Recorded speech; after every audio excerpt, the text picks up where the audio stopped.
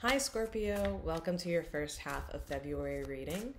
Um, this is a general reading, so whatever doesn't resonate, um, leave it behind. Uh, and if this particular reading doesn't resonate, check your sun, moon, and rising and or Venus. Um, all the decks that I'm using in this reading um, are listed in the description box below. If you'd like to check them out, maybe purchase yourself a copy. Um, if you'd like to leave a donation, that information is also down there, as well as the link to book a one-on-one session with me if you'd like further clarity or something a little more personal. Um, anyways, chef's kiss. let's get into it. Um, so let's see what we've got to start with. Slippery cards. Maybe some situation in which things seem elusive, or maybe you yourself are being elusive. We'll, we'll see. We have this Three of Cups here. Maybe there is some type of connection some type of connection that mm, maybe you're waiting on the right conditions or something for it to happen. Um, maybe you know there's something in it for you, but probably you're avoiding it. Maybe there's some type of um, connection that you're avoiding. Let's see because it would be that it would mean the death of something. It would then mean having to um, get to know, or it, it'd be some type of intimacy that would take place. And we have this King of Wands, so it could be um, with a fire sign. Aries, Leo, or Sagittarius, and there's someone who's who's very courageous. Um, this is yeah, King of Wands, someone who's very courageous, someone who takes action um, someone who doesn't really take things lightly. They have a, a, a, a, seriousness, a seriousness, a resoluteness to them. They're very passionate, um, you know, and uh, but also also warm yet cool. It's like this really beautiful balance, and um, sometimes you can't, you can't tell whether or not. Um, they have the space for you maybe and or this could be you and and how someone views you perhaps and um there's a lot of things that uh, there's a lot of potential in their mind. They have a lot of wonderful ideas, but um, perhaps have trouble allowing them to, to hatch or you know come into fruition. Maybe they're waiting for the right time. Perhaps there's some type of um, feeling in, in, intimidated or needing to find the essence of whatever the action that is being called for here. Maybe um, they're, they're, they're needing to be invited in. Maybe you're someone that needs to be invited in to some space. Um, into a place of, of, of acting from passion as opposed to, to being more more calculated, uh, more logical, um, there's there's some type of movement or action needed here. Um, there's some type of uh, movement or action that is that is willing, that is that that is there. There's the potential, but um, it's just not being acted upon. There's some type of disconnect. Um, um, perhaps waiting for the right season, waiting to get something, first in order to feel okay enough to enter that space, right? We have the Seven of Cups. It's like there's got to be a certain amount of investment there in order to fully open up to, to whatever it is. Um, it's like there's more work that needs to be done in, in, clearing a space out or clearing the air or bringing a sense of clarity. Um, and it's like it, it needs to be felt in the physical. It needs to be something that's tangible and can be held and counted and accounted for um, because there's maybe some some type of lack of trust in, to some degree um, and almost needing some type of collateral. And we have the Four of Swords, but right now there's maybe some type of break. There's some types of uh, emotions that need to be kind of um, aired out, perhaps, in order for there to be a fresh start um, maybe there's trouble kind of moving into that headspace, and so it's causing a lot of unrest, maybe um, needing to move through some emotions first that are have maybe been avoided for some time. Maybe there's been some type of isolation that's been taking place that isn't really helping the situation anymore, is actually actually creating more of this need um, to put things to rest um, instead of creating more of uh, this emotional turmoil because it could eventually lead to conflict. Um, if not acted upon, if there's no space invited. Uh, I feel like there's a lot of focus on the material because we have another um, Pentacles card. We have the Nine of Pentacles, and perhaps either you or this other person is very used to being blinded by. Um, by the material and not willing to see much beyond it um, because maybe either you or this other person is really rooted in okay how does this benefit me? How does this benefit me? Um, it's like wanting to protect their energy but at the same time kind of getting all dried up when it comes down to it. Um, almost moving horizontally instead of vertically um, and not able to see a new perspective, just trying to kind of take over a lot of territory without necessarily um, creating space to build things up. It's like wanting to cover a lot of ground without really reaching a place of fullness.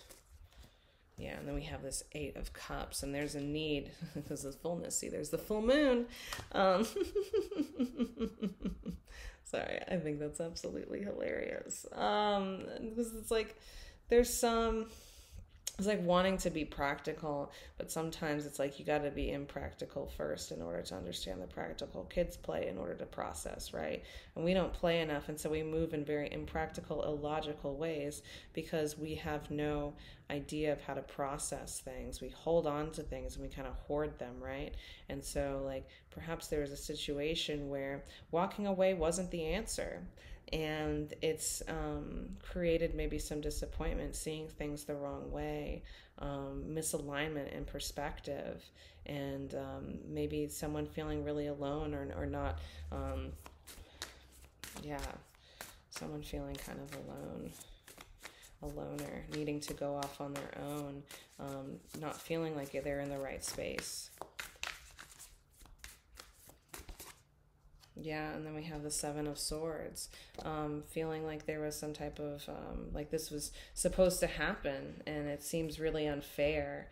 Um, but being able to handle it to some degree, uh, perhaps like someone someone may see kind of where someone else is is attempting to be clever to mask something, to hide away or steal away with something but you know they're they're holding on to what they can. They're holding on to what they can and uh, they've got a decision to make and the way that things move forward is really going to figure out which way the winds blow which way um, what they what they think of you or what you think of them. Um, but it's going to cause some type of shift in how um, you know you each perceive one another. Um, especially as, as as long as the withholding continues you know you're going to be choosing your camp and them theirs. Um, yeah and then we have the eight of swords because there's some something some type of narrative or something that's being attached to. Someone feels very restricted someone's holding on to something and being really guarded and not and not allowing anyone um, even themselves a space of sanctuary um, feeling really bound to um, how they perceive themselves and how they protect themselves and believing that that protection is is them right? It's like sometimes our ego it gets so big it's like we don't even begin we don't know ourselves because we've relied on it too heavily.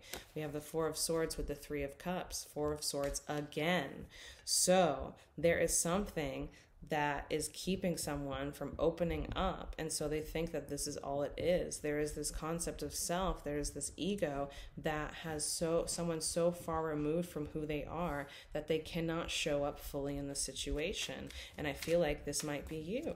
This might be you. And it's like there's a transformation necessary. If you do not change, everything will consistently change around you and you'll have to consistently adapt and you'll consistently remain guarded. Um, we have this Knight of Pentacles with the King of Wands. And so it's like being really kind of like all about the money here, all about the money. Um, like not not looking to move forward in any type of passion. It's like, no, I I am only worth what I earn, and I, I only see myself in regards to what you know. Maybe identifying too much with money or resources, or you know, the material again it's like what if all that was stripped away? Um, what what would be left then? And it's like identifying too much and being protected by by something that really holds no value when it comes to eternity right? And so then we have the seven of pentacles we have the knight of swords and um, it's just like i feel like you know battling on on how to, how to invest you know what to what to give into really feeling kind of conflicted. And i feel like this is on both sides both sides being conflicted. Even you it's like how much should i invest in this? And it's like you know where's you know where's your head at? Where's your head at? And is it is it is it rooted in the rest of you? Or are you acting impulsively? You know there's some something to be said here. We have the Three of Swords with the Four of Swords. So it's like, you know, where did this hurt come from? And why have you ceased to um, resolve it or put it to rest? Um, it's like constantly needing to separate oneself in order to, like, um, honor or justify something that was done to them or leaning into excuses you know, leaning into excuses in order to put thing to to put things to rest, to avoid conflict, conflict that needs to happen, conflict that might not even be that bad. It would lead to clarity, you know, avoiding clarity. Here we have the world and the nine of pentacles, the world reversed and the nine of pentacles. It's like someone is really avoiding something remaining blind to something by trying to cover too much ground instead of truly rising up and allowing things to build um, you know,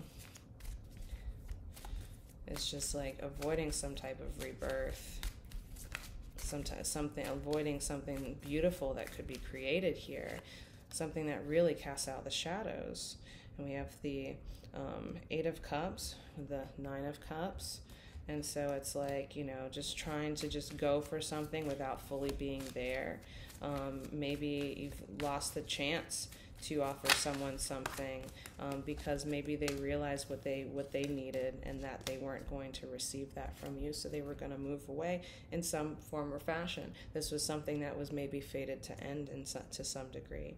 And here we have the seven of wands with the three of cups reversed. And so there's you know a lack of harmony. There's no way to really come together um, as long as either side knows that something's being held back. Um, that's why you gotta. That's why you gotta show up fully. It's either now or later, and I feel like that window is closing. Here we have the Star card reversed and the Eight of Swords, and so it's like hope is kind of lost here, you know, and um, it could just be that could just be going back into past circumstances, allowing and reliving this tower moment over and over and over, but without really being able to rebuild anything fully. It's like you're operating off the same type of blueprint, and um, it's almost like two cherubs here. It's kind of funny. Um, and not really being able to give oneself up to love and to and, and to enjoyment. It's it's it's a lot of stuff kind of kind of i'm feeling like gatekeepy kind of a cult. There's a lot of stuff hidden. There's a lot of mystery um, that that is being held on to and almost kind of used as almost kind of weaponized in a way. Uh, it's like a defense system a defense mechanism right? Um, so let's pull a couple of oracle cards to round this out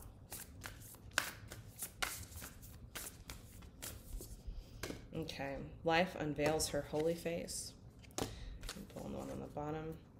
Open your heart into the body of love, into the body of life. All right, let's see feel like there's some type of you got to mature. You're like someone's acting really from a place of immaturity, not really showing up as themselves, playing some type of game, and they're just going to be disappointed again and again. Because um, something you know it's just repeating some type of cycle, but then blaming the other person.